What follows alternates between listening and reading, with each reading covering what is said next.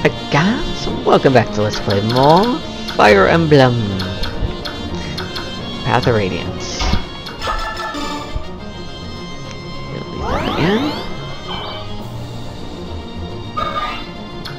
Well, I did save everybody but one person, which is unfortunate, but uh, you know? I'm actually just gonna rescue you.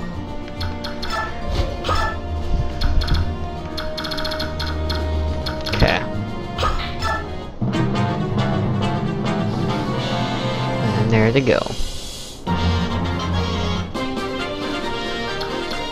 Alright, so who should finish this guy off?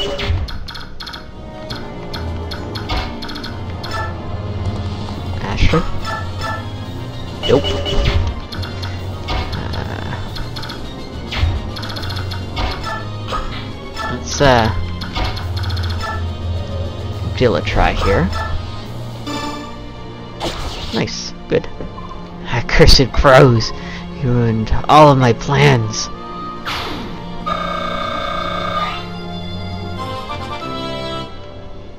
Nice. Good. That's not bad level up. That was our last uh, turn, so...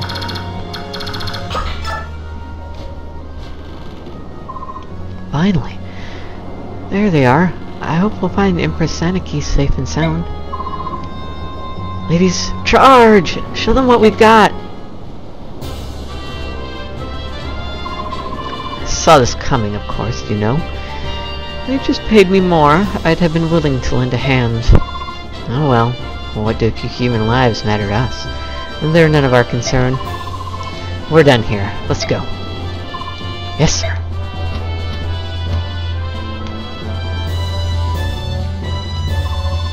That's it. It looks like the dust is finally starting to settle. Looks like those crows took flight as soon as the Holy Guard arrived. The other assailants fled too. Then our job here is done. Crows are one thing. What, what were those men doing with them? Yes, I thought that was odd too. They looked like pirates, but they certainly didn't act like them. True. They weren't interested in treasure, and their soldiers definitely were trained fighters. Who were they? Which country did they serve? Was this an attempt on the Apostle's life? It's possible. The Apostle is the symbol of the Begnion Empire itself. The Apostle is the Empress. If she were to perish, it's fair to say Begnion itself would perish as well. I see. The Apostle is missing? What do you mean? That voice. Something must have happened. Let's go find out. Hug, this business is becoming quite the headache. I'm sorry, ma'am. If I can offer up my life as repentance for... Oh, stop it. If you were to repent, go do something useful and find the Apostle. Yes, ma'am. Did I hear correctly? Is the Apostle missing again? Ah, oh, you're that mercenary. My men guarded the cabin entrance. As far as I know, we kept it safe from the enemy. What I've been told, the Apostle slipped out of the cavern on her own in the chaos. On her own? Now why would anyone call the Apostle do something as stupid as that? Hey Ike, watch your words, you're being rude. It's alright, Dame Knight. I have more important matters on my mind. I hate to ask, but... Would I be able to enlist your help in searching for the Apostle? Of course! You don't mind helping, do you, Ike? Nah. We'll search the enemy ship. Would you search your ship, just to be sure? I would appreciate it. I'll do what I can to find her, but I don't even know who I'm looking for. I think it's safe to assume she will be a woman of stature, a noble woman of some sort. Huh? Well, I suppose all we have to do is keep an eye, my eyes peeled for any stowaway, anyone I don't know. Let's split up. It will go faster if we search separately. Mist and I will check this side. Then Soren and I will search the rest of the ship. Uh, about what I said this morning. Yes? About the way you phrase things. I, I had to apologize for that. No, don't apologize. I know you. I know it's been bothering you, hasn't it? No. Well, don't take it personally. I'm no better, you know. Your ability to speak plainly, uh, the things others won't, is part of what makes you brilliant. Others are too bound by courtesy. With you, I trust that I trust that what you say is exactly what you think. Well, yes. Thank you, Ike. Now, about that missing apostle. Oh. You found her? No, I don't think so, but there's a child stowing away in here. What? What is a child doing hiding on our ship? Must be some aristocrat's daughter. Probably slipped on from the Begnion ship. It was a hectic battle. She must have been frightened and hid herself here in the confusion. Are you going to help her? Well, we can't just leave her. Hey, are you alright? I'm fine. Hey, don't be scared. Uh, who might you be? You don't look like a Laguz. Perhaps a new recruit? No, I'm a mercenary. I was hired by Princess Elincia. A Crimean princess. Ouch! What's wrong? Oh, you hurt your foot? Let me see. Hold! Do not approach me! Hey, I told you not to... Ouch! You're hurting me, you fool!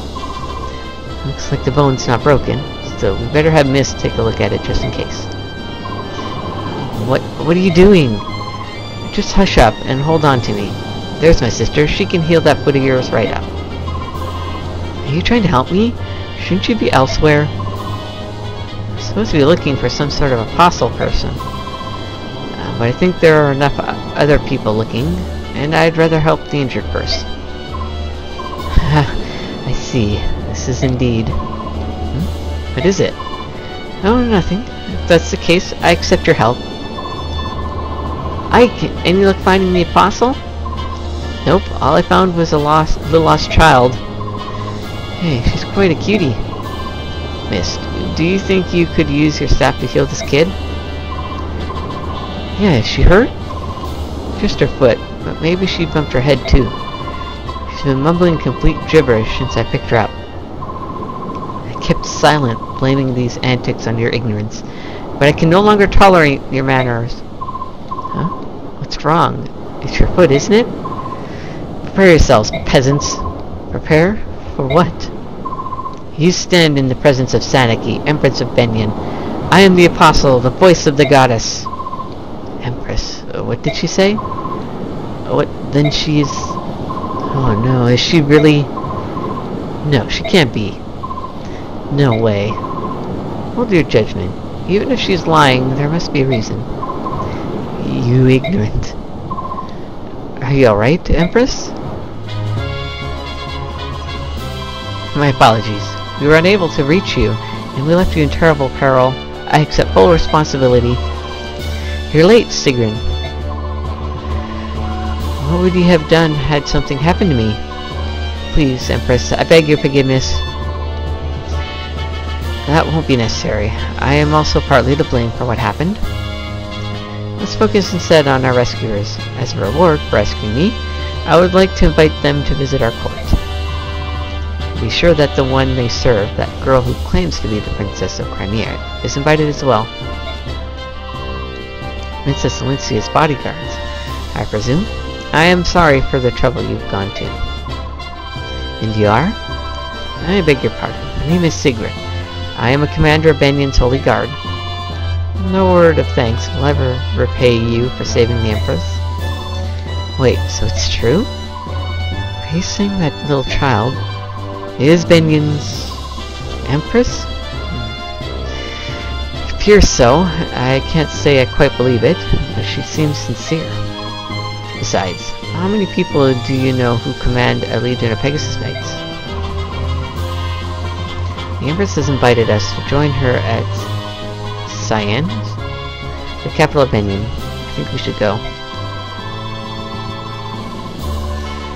Where is the princess? Well, we should ask her permission before agreeing. Must be in the cabin. I'll take you to her.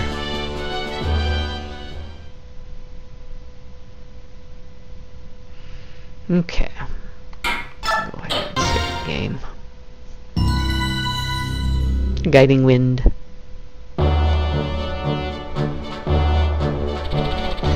Begnion Empire, largest nation on the continent, is a theocracy dedicated to the goddess Ashera.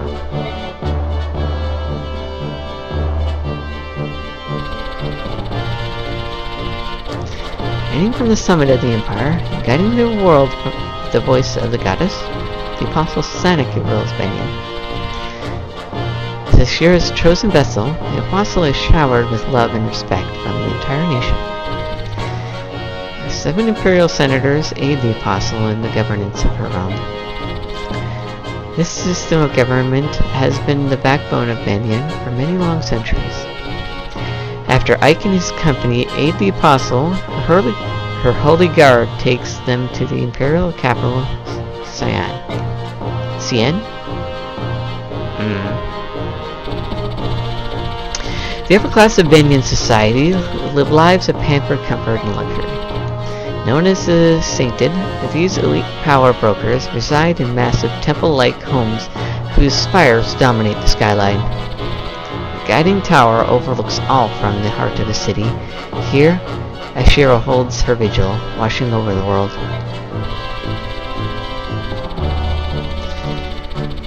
Surrounding the tower is a series of temples, both large and small, placed in an orderly, systematic fashion. They're systemic.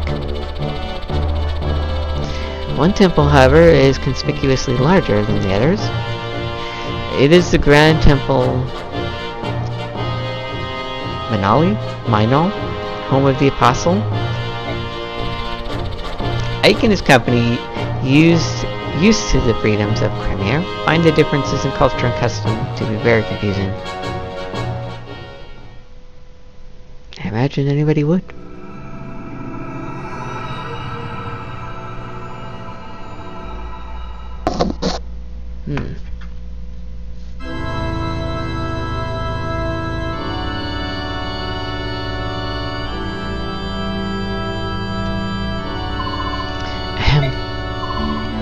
Now then, you have proclaimed yourself to be the orphan of Crimea's King Ramon, Princess Elincia Ridell Crimea, correct?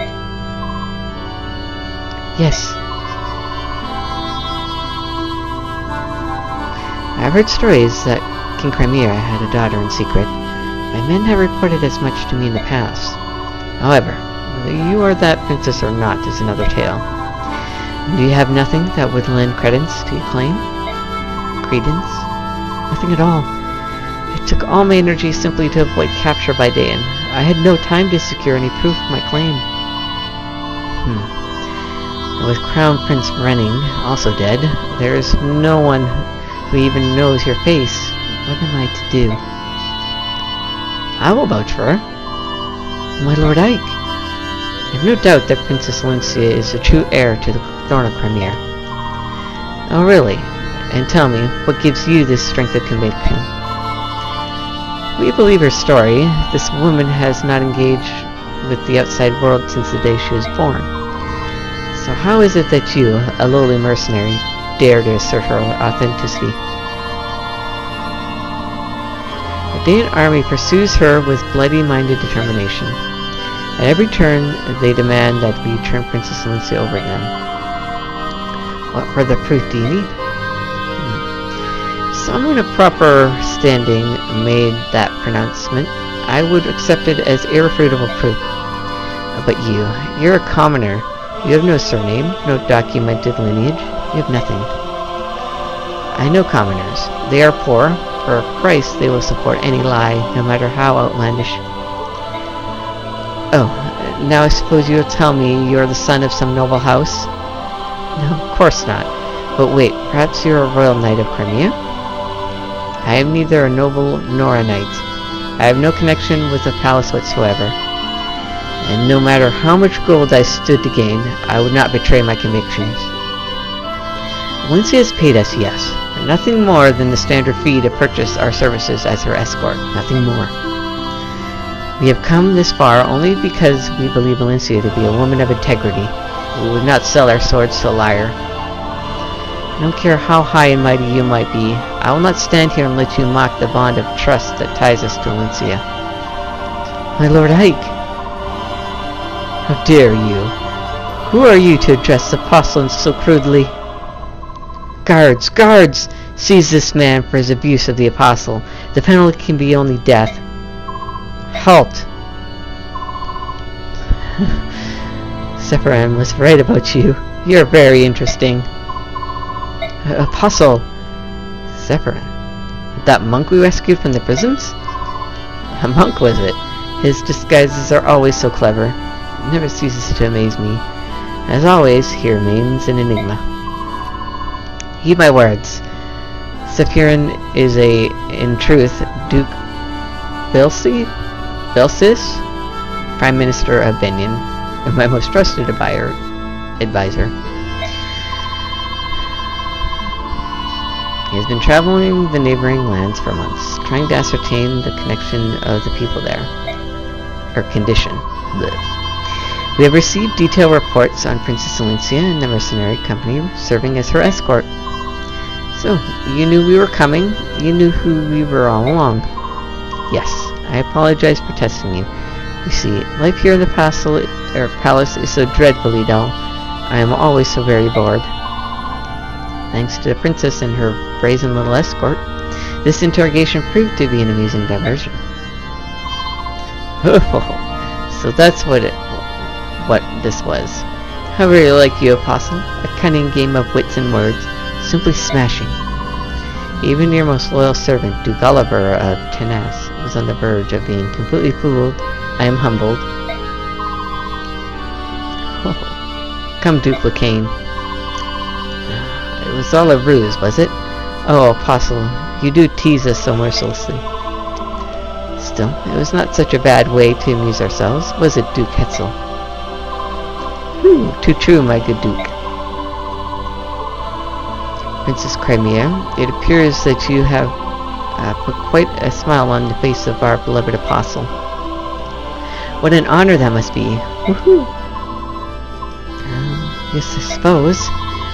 Madness. Oh yes, I almost forgot. In all the fun, Sephiran has already vouched for your identity as the true princess of Crimea. Sephiran.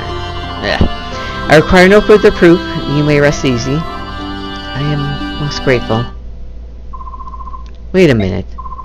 Yes? What is the meaning of this? You knew Elincia was Princess Crimea? And you continue to humiliate her for your own entertainment? Some stupid game of wit and words? This is no joke. Elincia's homeland is lost to her. Her family has been hunted down and killed by the monsters of Daein.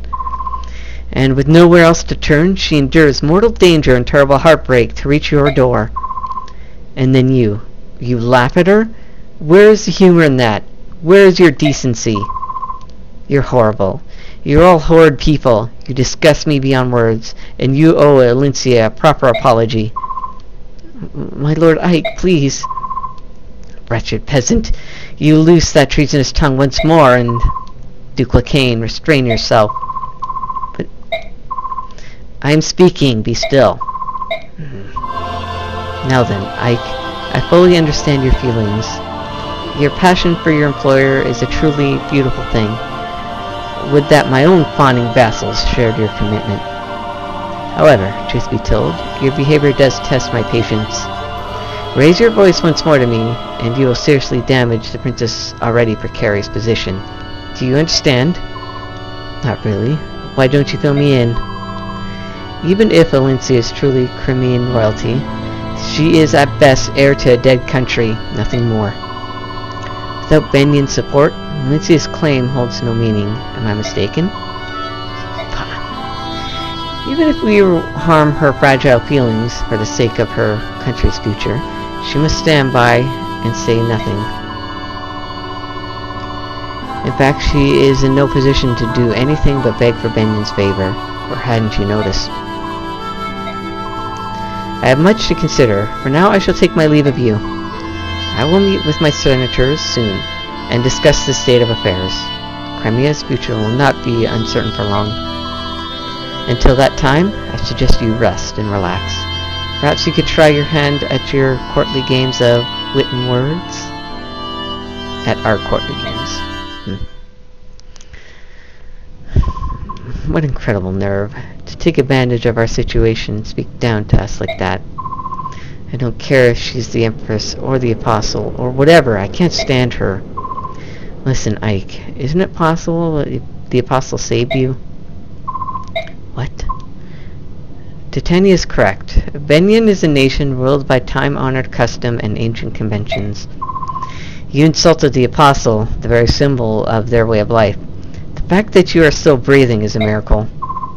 I hadn't realized.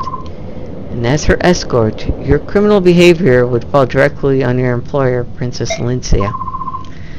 If you had truly angered the Apostle, any hope of restoring Crimea would have vanished like a puff of smoke. That's madness.